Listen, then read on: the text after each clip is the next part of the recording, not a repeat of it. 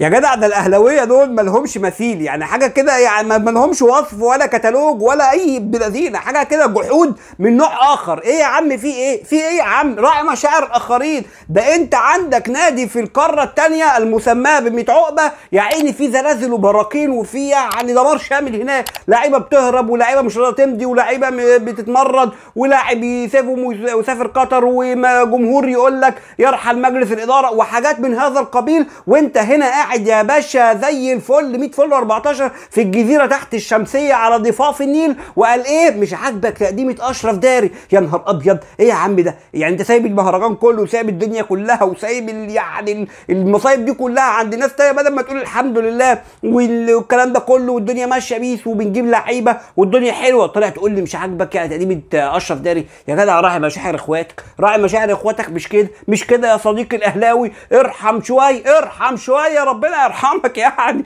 يا حبيبي مش كده مش كده. ولكن يعني مراعاه لإخواتنا الزملكاوية يعني معلش معلش هي الدنيا كده. في ناس يعني زيطه وفي ناس آه، كده. لايطه وهيطة ويعني يعني ربنا يا ابني يعني يمشي عليكم بالستر.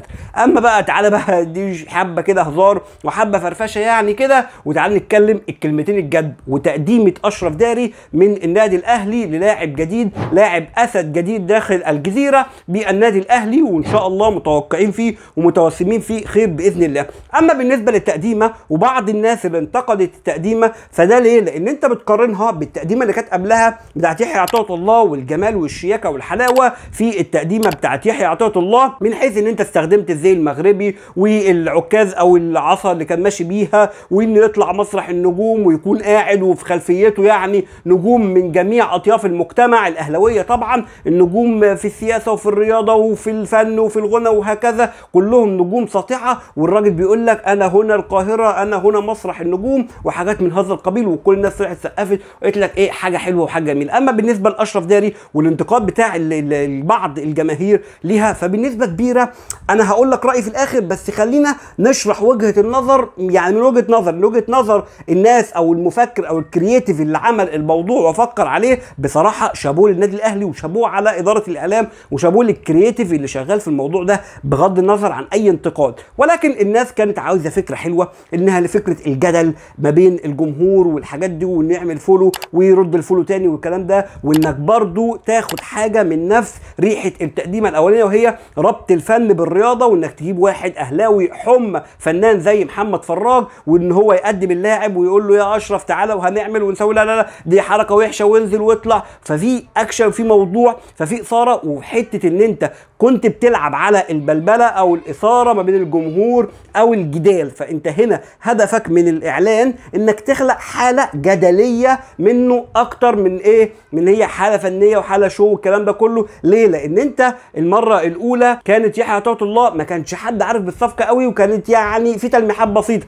أما النهارده في أشرف داري فكان تقريبا الأهلاوية كلهم عارفين بس فقط ينتظرون ميعاد التقديم. فاذا اللعبة أو ال creative إن هو يشتغل على موضوع الجدال وال follow وإنك تعمل follow للاهلي وترجع تاني ترد والكلام ده كله ففي إثارة وأيضا الربط بالفن فده شيء كويس جدا. لكن التقديمة ممكن ما تكونش قد كده. في الآخر هي تقليدية كلاسيكية قوي قوي قوي وعايز أقول لك إن أنت في الآخر ك creative أو كصانع يعني الأفكار ديت والميديا والكلام ده كله ساعات جدا إنك تزل منك واحدة. ساعات إنك يعني تبقى عارف أو حاطط هدف حلو للموضوع ولكن ما يوفقكش التقديمة وما يوفقكش ال- الاكشن أو إنك خلاص بقى تعمل الإعلان والكلام ده كله ممكن ما تتوفقش بيه بشكل كبير جدا. ولكن في النهاية في المجمل أنت كإعلان ممكن نقول 6 من 10 6 من 10 حلو جدا ليه؟ لأن التنفيذ ممكن ما يكونش مرضي قوي بالنسبة لبعض الجماهير وفي جدال وفي فكرة أي نعم الفكرة جديدة وإنك تلعب على حتة الحتة الجدلية دي. فده برضو شيء كويس جدا. ففي المجمل لا لا شابوه شابوه شابوه لإدارة الإعلام. حتى ولو ما كناش راضيين بشكل كبير عن التقديمة دي وكنا منتظرين أحلى فده ممكن يكون الوقت أو التفكير أو أو أو.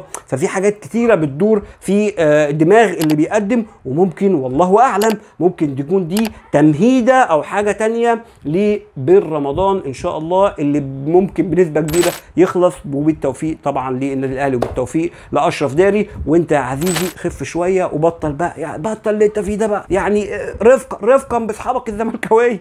like و share اللي جاي كتير. والسلام عليكم ورحمة الله وبركاته